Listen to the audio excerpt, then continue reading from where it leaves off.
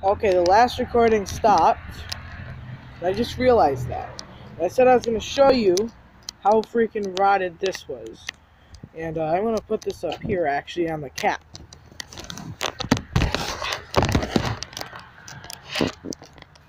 Now I gotta see, make sure that you guys can also see. So, yeah, see, you wouldn't be able to see.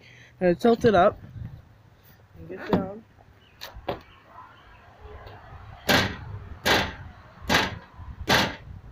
Yeah, not good. Not good. And it'll break really easily. It's already cracked right here. So, they got the uh, impact. We're planning to take it off, but that's not going to happen. So, can't use that.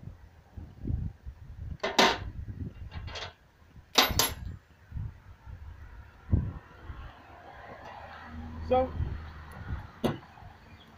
oh Jesus. Ah. Take my tablet. So, there you go. The TRX and then Predator.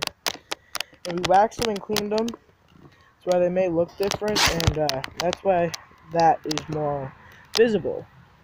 That's wax stuck in there. I didn't see that.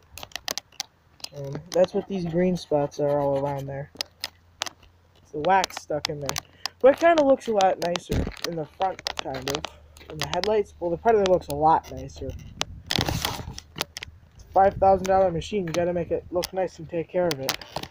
So, we will be taking these out to the trails, hopefully soon. I don't know if we actually are, I don't know if we're not.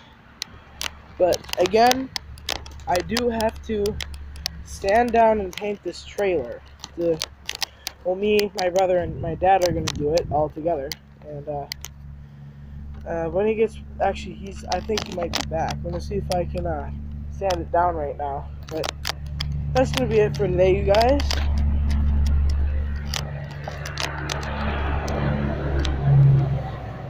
Thank you. That's gonna be it for today, you guys. I'll see you in the next video. Maybe four wheeling, maybe not. Maybe getting there.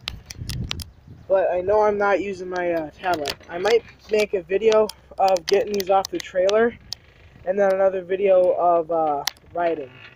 And uh, we're gonna get a helmet cam. I'm gonna get a GoPro. Not a mount. Anyway, that's what we plan on doing. So, see you guys in the next video.